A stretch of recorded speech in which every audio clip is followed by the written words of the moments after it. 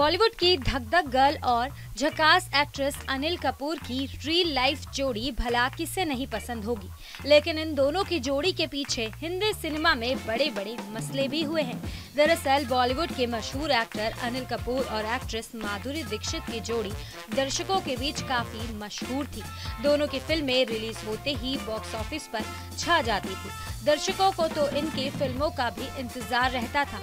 बेटा राम लखन, जमाई राजा, खेल और तेजाब जैसी कुछ फ़िल्मों ने तो लोगों को दीवाना बना दिया था। लेकिन अचानक ये जोड़ी बड़े पर्दे से गायब क्यों हो गई थी? दरअसल इसके पीछे बहुत बड़ी वजह थी। कुछ मीडिया रिपोर्ट्स की माने तो फ़िल्मों के साथ साथ बॉलीवुड में अनिल और माधुरी के बीच अफेयर की खबरें भी उड़ने लगी थी। एक बार माधुरी दीक्षित और अनिल कपूर एक फ़िल्म के सेट पर साथ काम कर रहे थे।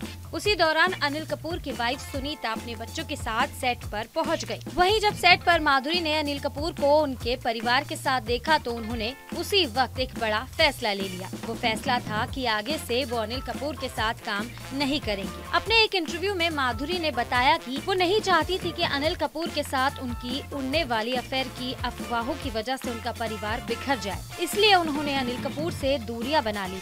यहाँ तक कि पर्सनली तो दूर फ़िल्मों में भी माधुरी ने साथ काम करने से इनकार कर दिया।